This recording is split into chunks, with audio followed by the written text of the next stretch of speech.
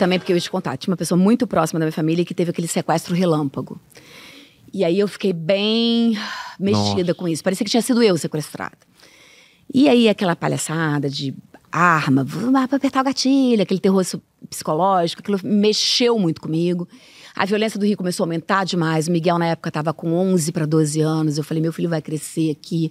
Não tem como blindar meu filho. Ah, o carro tá blindado, o carro tá blindado, mas ele É. não tá blindado, é que eu vou fazer o quê? Não dá pra blindar ele, ele vai querer ir pra boliche com amigos, já tá começando aquela fazinha.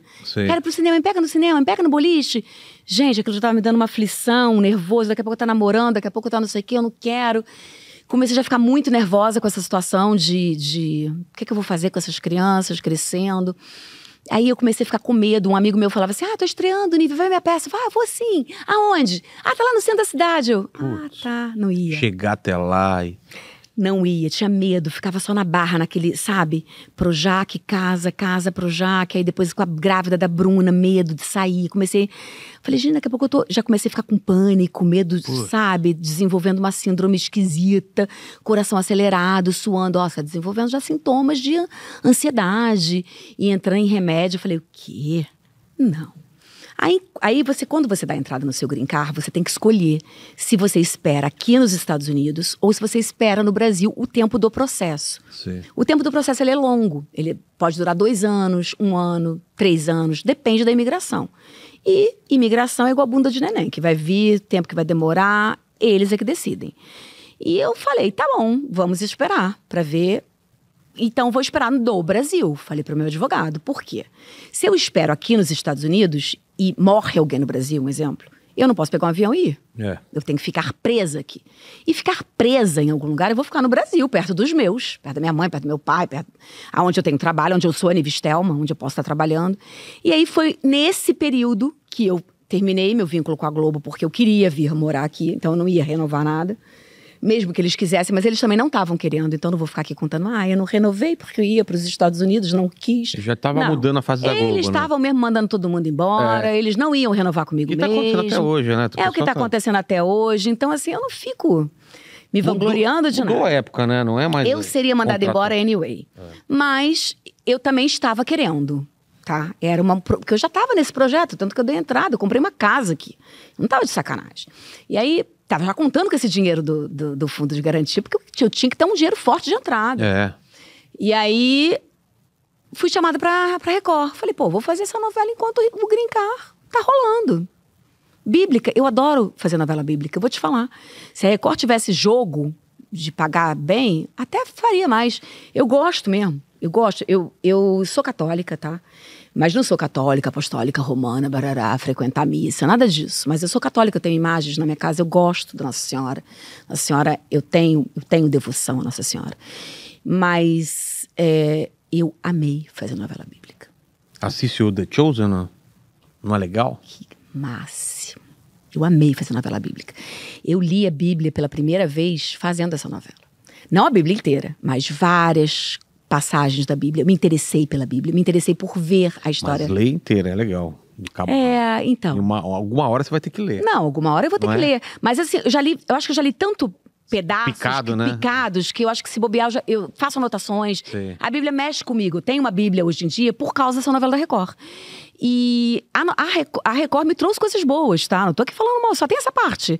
Porque de resto, pessoas, amigos, diretores maneiros, a, a- tá lá, era gostoso. Eu fazia cenas, eu saía leve, assim, falava: Caraca, senti o Espírito Santo aqui, cara. Olha que viagem. É. Eu gostei de estar falando isso. Olha que maneiro que eu falei hoje. Era uma personagem forte, tinha uns textos assim bonitos, sabe? Fazer quem? Noemi. E aí? E aí mexia comigo pra caramba. É mesmo. Ela era forte, tava lá com Caleb, sabe aquela história da Terra Prometida?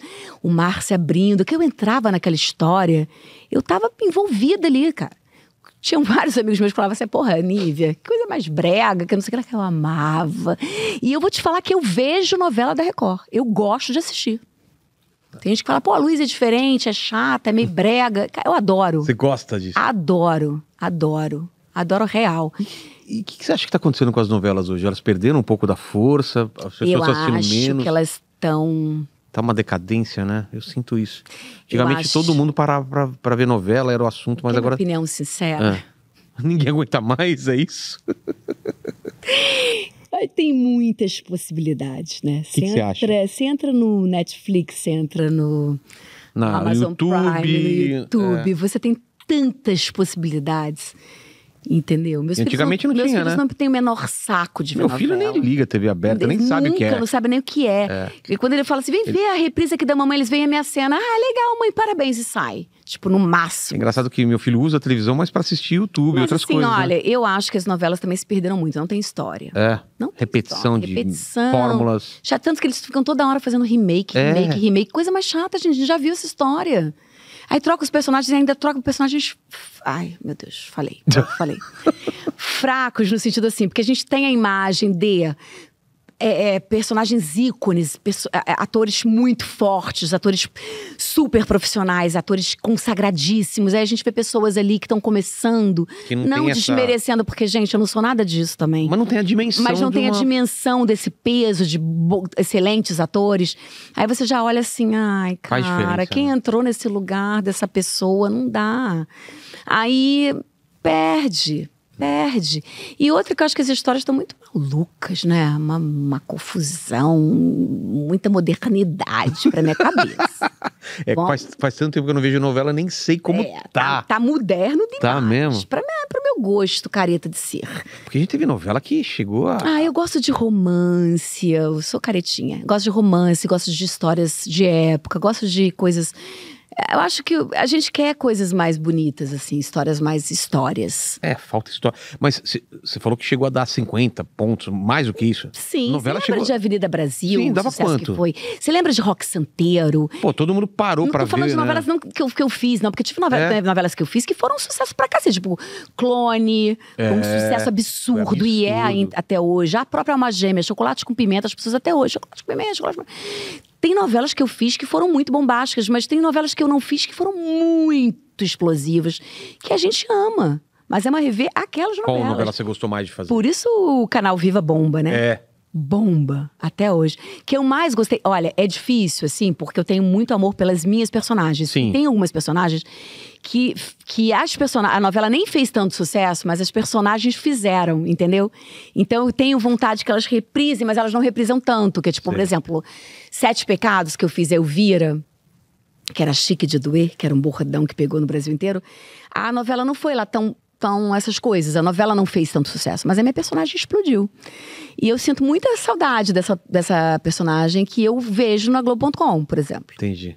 Então, eu, sinto, eu amava essa personagem.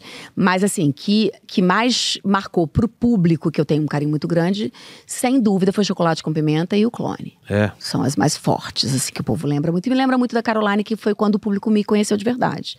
Quando eu fiquei famosa pro Brasil, foi essa.